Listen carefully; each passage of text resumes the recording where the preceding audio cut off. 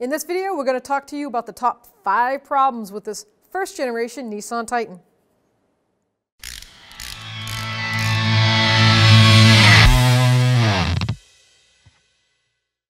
Number one is the coolant mixing with the transmission fluid. That would be an automatic transmission. What happens is the radiator internally, where the transmission fluid runs through for the cooler, it cracks basically, and the tubing opens up, and all your coolant goes right into the transmission. So you will find lack of power, shifting badly, overheating. If you have to keep adding coolant, don't look at the head gaskets first. Check your transmission dipstick. You can do that by taking this six millimeter bolt out. It's a 10 millimeter socket on the dipstick tube. And you can pull this out and just give a visual of the fluid. Now this is a, in good shape. It only has transmission fluid in it. It's got a little bit of brownish pink hue to it.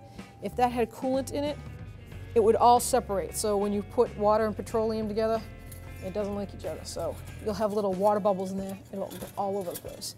That's a key. The other thing I've done in the past is start it up and when you put it in gear you'll watch this fluid shoot down because the transmission just takes the fluid right back into the training.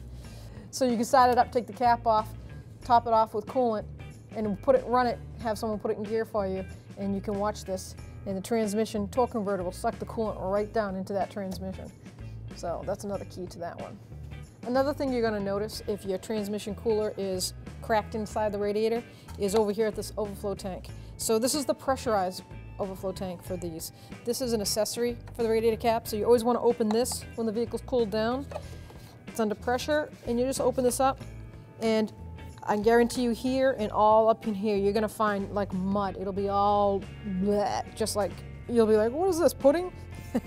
It'll look really bad in there. That means that the transmission fluid is mixing with the coolant, so that's a pretty severe problem.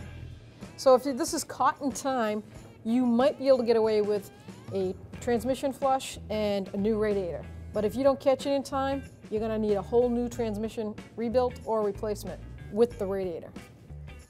Number two, if your airbag light or engine light come on and you have a little code reader and you pull it and it says P1564 or U1000, there's a quick test. Basically, what you need to do is clear it, start the truck up again, and turn the steering wheel from stop to stop. That's complete 360 both ways, or 180, whichever way you want to look at it.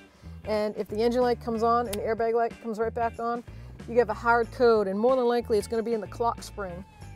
So basically what that means is from turning the steering wheel constantly, uh, the, they have a they had a problem with the wiring to the clock spring where it frays and breaks off. So it's gonna it's a hard code, what we call a hard code. It will set right away once the steering wheel is turned. So if that happens to you, at least you did your homework real quick and you know when they say, well, you need a new clock spring, you do. Number three is damage to the converters due to low fuel pressure. So you will get no check engine light. What will happen is you'll start noticing a lack of power on the highway or even in city on acceleration and you're looking for power and you'll be like, hey, it doesn't seem like it is, used to be. First thing, please get your fuel pressure checked. If it is below 51 PSI, then it's causing a lean condition. And what happens with lean condition is it starves for fuel. And these converters will actually get damaged from that. So if you wait too long to get the fuel pump replaced, you're gonna end up with a very expensive bill for possibly four converters. So if you feel that lack of power, don't hesitate, get that checked, and if the fuel pressure is below 51 PSI, change the pump and you can save the life of your converters. Number four, uh, Nissan had a great idea and they thought, hey, our differential doesn't need a breathing tube, no vent here, we don't need it. Um, well, you do because pressure builds up here. so what happens is they didn't put a vent tube on the rear diff on this model. Eh, it's the first generation. Now, second generation, I'll have to do some homework to see if they did, but on the first, they did not put a vent tube. And what happens is your differential builds up pressure, just like a washing machine, because that gear ratio is going around that pumpkin, and it builds up pressure. So, it has no place to go, no vent. This is the result. You're going to get axle seals leaking constantly. You can replace them, and they might go again within 10, 15,000 miles because your rear differential is going to build up pressure which is a very normal situation. Unfortunately, the fix for this on the first generation is just to keep replacing the seals. Number five, it's not a big deal, but it is if you, if you like to take care of your vehicle. Uh, interior cosmetic things on these trucks seem to fail. You will find chip paint on some of your dials, on the dash will wear out. Hand controls on the steering wheel, you have worn out paint all over. The buttons, the wording disappears on them. Handles, interior handles just break off.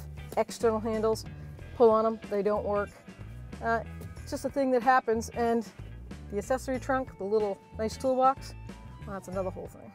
So from underneath the truck, you can see the conditions that if you are in a zone that has winter and you have road salt, what it can do to these beautiful accessories. On this particular Titan, the first generation, and I do believe they had it even after, is they like to put the exterior toolboxes on. Great idea, but if you don't wash your truck and keep the road salt off of it and the sand out, that's going to be the end result and the toolbox becomes an empty cabin or unfortunately maybe some of your stuff that you love is still in there. Hopefully you enjoyed this video and it helps you out. Have a little fun with it.